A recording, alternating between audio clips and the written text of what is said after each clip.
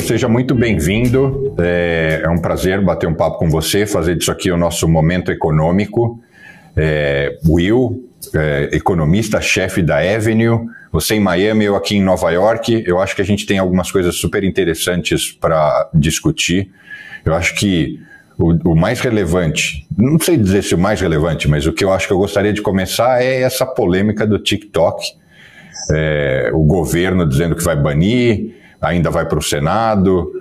É, a gente sabe que tem, são questões relacionadas à, à, à, segurança, mas também impactam em outras esferas. O mais bizarro é que quem recentemente começou a se promover no TikTok, justamente o Biden, e, e para passar a bola para você, é, tanto republicanos e democratas é, se uniram numa mesma pauta, o que tem sido muito incomum nos últimos anos. Na perspectiva econômica, qual é a sua visão em relação a essa bagunça toda? Não, Bruno, obrigado aí pela oportunidade de estar conversando aqui com vocês. De fato, é, o, o TikTok está conseguindo fazer algo que muita gente não pensava, que é unir os partidos é isso que tu bem comentou. Acho que primeiro um ponto relevante e importante disso tudo é que, de fato, republicanos e democratas não conseguiam se unir mais para praticamente nenhuma pauta, ainda mais próximo de eleição. E o TikTok conseguiu isso. A Câmara dos Representantes aprovou, né, na, na quarta-feira, um projeto de lei que acabou sendo bipartidário para banir o TikTok. Do ponto de vista econômico, uh, eu diria que assim, fica difícil você mensurar. Você tem alguns é, negócios, pequenos negócios, que dependem um pouco mais do TikTok, que usam né, a rede social ali para promover seus negócios, tem alguns influencers. E aí eu diria que quem sai ganhando nessa história toda é a Meta, é o Facebook, porque se você tira ou se você bane o TikTok dos Estados Unidos, é, o que, que sobra né, de plataforma social? Tem ali o Twitter, mas a gente sabe que o principal é o Instagram. O Snapchat não tem tanta força assim, por aí vai. Agora, eu acho que tem por trás aí uma questão econômica é, de segurança e econômica importante. O, o TikTok ele conseguiu ter mais receita por usuário do que o Facebook ou que a Meta, né, por exemplo. Então, enquanto a Meta reportou lá 43 dólares nos últimos 12 meses, o TikTok 65 dólares de receita por usuário.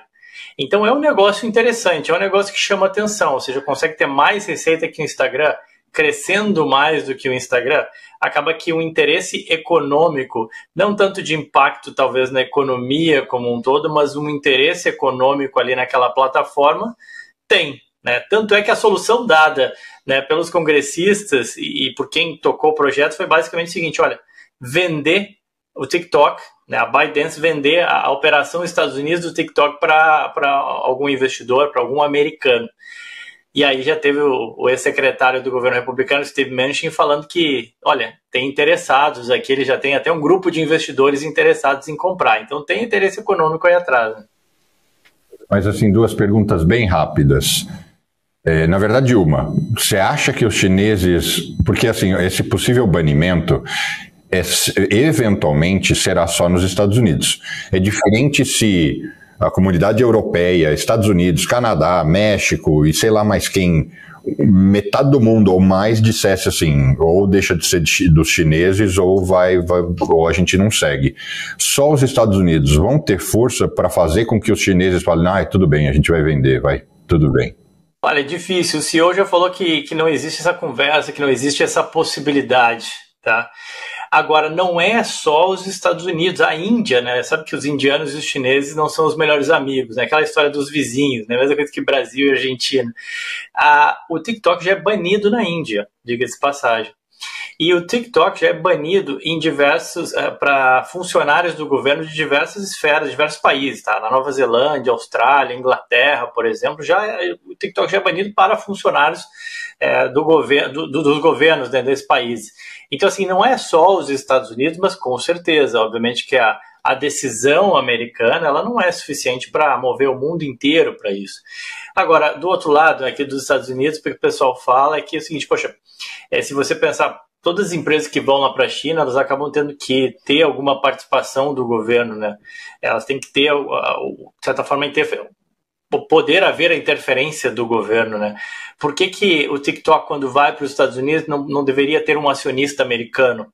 né, como principal. É um pouco essa a discussão. A gente sabe que, obviamente, por trás tem a questão de informação dos dados dos americanos e também desse interesse econômico, e que nem tu bem comentou, assim, acho que vai ter é, cenas dos próximos capítulos, né, porque o Biden falou que se passasse ele ia assinar. Né? Então, ou seja, ele vai, vai dar um tiro no pé, porque a campanha dele vinha crescendo bastante no TikTok, aí como uma tentativa de crescer com os mais jovens, né? E aí ele não vai poder mais usar o TikTok na sua campanha. Bom, veremos. Nas próximas semanas vamos falar sobre isso, porque isso ainda vai, vai, vai reverberar vai bastante. Dar manga. E eu acho que o que nas últimas semanas, mas ainda segue em evidência, é a história do, do da supervalorização do Bitcoin. É, eu, às vezes, que me meto a falar sobre isso nas redes sociais, tem algumas pessoas que me apoiam e outras que vão lá e começam a me criticar. Porque o que eu digo é, primeiro, é, vou começar diferente do que eu costumo uh, fazer nas minhas outras explicações. Eu invisto em Bitcoin. Mas eu invisto na perspectiva que, do mesmo jeito que eu posso investir num cavalo de corrida, ou eu posso jogar é, algum jogo de azar. O que eu quero dizer com isso? Bitcoin pode se valorizar, é, como pode se desvalorizar, como pode virar pó. É, você pode ganhar dinheiro, mas é um produto especulativo. Porque um gestor, um investidor como eu, que é, tenho a outorga é, para fazer, é, é investir o recurso de muitas pessoas, de fundos, a gente tem toda uma política. Em geral, você é fundamentalista, você compra coisas baseadas em algum tipo de lastro. É, você, você compra ação da Coca-Cola porque ela tem um fluxo de caixa, porque ela vende Coca-Cola. Então, e tem um motivo para aquela ação estar tá naquele valor, independente se ela está supervalorizada ou não, se tem é, algum outro tipo de, de, de energia incidindo né, naquele, naqueles números e eles não são sustentáveis. Mas, teoricamente, você tem indicadores. As cryptocurrencies, por mais que queiram dizer que é o futuro e etc., e blockchain de fato é o futuro, representa muito, é, as cryptocurrencies não têm lastro. Esse é o lado bom e o lado ruim, porque elas são justamente descentralizadas mas elas não têm lastro. E está subindo, e eu até arrisco dizer, mas quero te ouvir, vai subir mais, porque com o halving é, a tendência é que suba, e não só isso, parece que ainda vem muito dinheiro dos, da criação dos ETFs.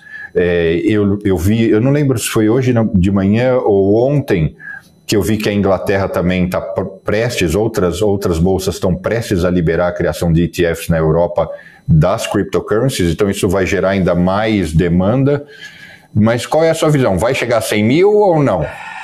Poxa, me botou na, na saia justa aqui, Bruno. Uh, não, minha visão sobre, sobre as cripto, eu tenho. Me sinto, nessas horas a gente sente um pouco old school. Eu também sou mais fundamentalista. Analisar Coca-Cola, McDonald's, empresas que geram fluxo de caixa. Cripto é um pouco diferente o negócio. Agora, tem uma coisa, né? Você pega uma nota de dólar, o que, que te garante? Uma nota de um dólar não tem validade nenhuma, mas por que, que todo mundo aceita aquilo ali e vê que existe um valor numa nota de um dólar, 20 dólares? Porque ela é socialmente aceita, né? E quando isso acontece com as criptos, elas passam a ser socialmente aceitas e todo mundo vê um valor, por mais que não tenha nenhum valor naquilo ali. Né? Você pode dizer que, ah, não, mas não tem valor, enfim, é diferente do ouro e tal. Não, mas existe porque as pessoas acreditam que tem valor, consequentemente aquilo ali acaba se tornando uma moeda, uma reserva de troca, enfim. E essa é uma das dificuldades, né? As criptos, elas ainda não conseguem desempenhar aquela função de moeda de um dólar ou até mesmo do ouro ou da prata e por aí vai. Mas agora, a partir do momento que vai tendo uma aceitação maior, é, acaba que você não pode ignorar. E que nem tu comentou, o blockchain de fato é uma coisa que melhora a vida das pessoas. É uma coisa que. E as próprias criptos também ajudam diversos países que têm dificuldade, a questão de migrar fluxos de recursos para cá e para lá. É, então, assim, eu acho que existe sim espaço para continuar avançando esse negócio. A partir do momento que os Estados Unidos meio que institucionalizou, né, ou seja, as criptos elas começam a entrar nos ETFs, elas começam a, a fazer parte mais do sistema financeiro, a verdade é que vem um caminhão de gente, ou vem muita gente interessada. Ah, eu nunca quis ter cripto porque eu tinha receio dessas, uh, dessas exchanges, ou da wallet aqui, ou a wallet lá, mas um ETF de cripto eu compro. Ou um fundo de cripto eu compro, porque é regulado pela SEC, porque está na bolsa e por aí vai. Então, acho que assim, essa, essa é, esse potencial aumento de demanda para Bitcoin e para cripto ele existe, é fato. E o fato dos outros países abrirem só alimenta isso. E do outro lado, né, você tem uma, uma oferta que ela é finita.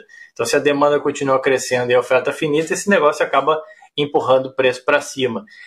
Obviamente que não é numa linha reta, quem investe em cripto deve estar acostumado já aos, aos solavancos, né, ao sobe e desce, a montanha russa, e eu acho que isso continua. Hein? Muito bom. É, eu acredito que vai chegar no 100, isso é se não passar. Mas só para fechar esse assunto, nas minhas redes sociais eu às vezes sou muito criticado e entre os comentários que eu, que eu fico com uma certa pena porque eu acho que as pessoas eh, os comentários são super aceitos, mas eu gosto de conversa de, de um bom nível. E aí, às vezes, as pessoas falam, ah, é, se fosse tão ruim, o, o, não, o BlackRock, ou sei lá quem que criou, o, várias né, instituições criaram aí os ETFs de, de, de Bitcoin, eh, não fariam.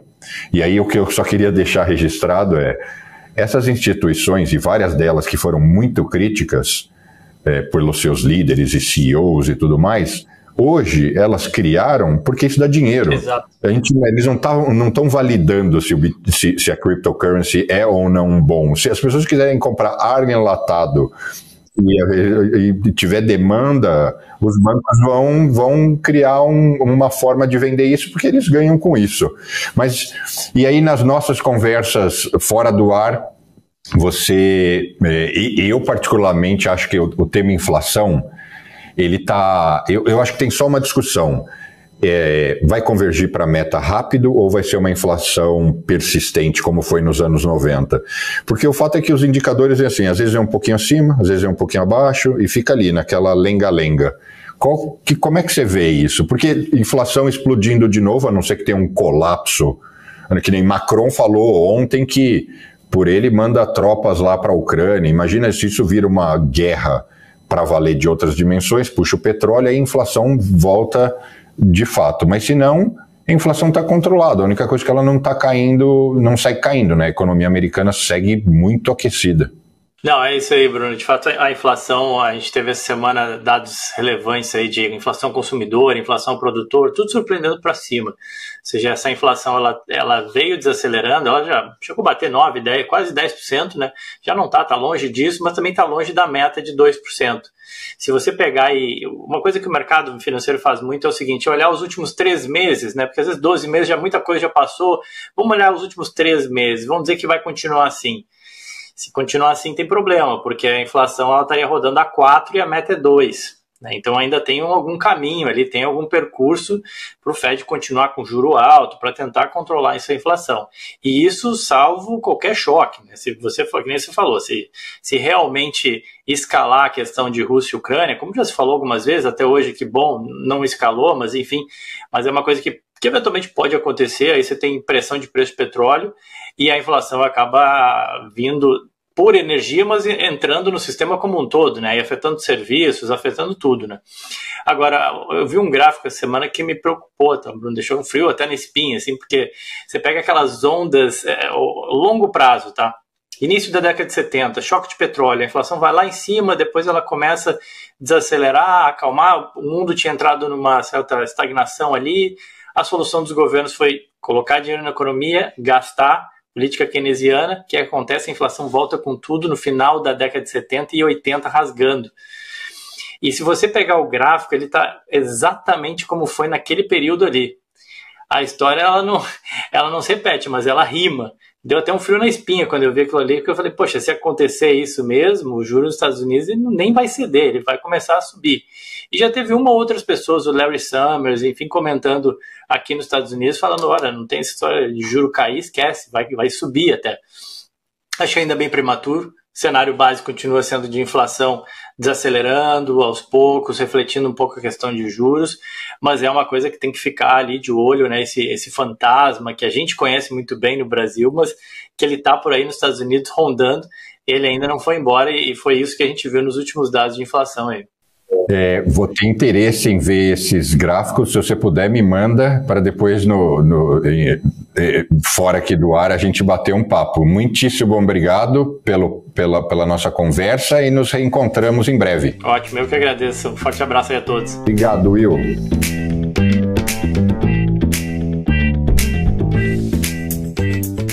Manhattan Connection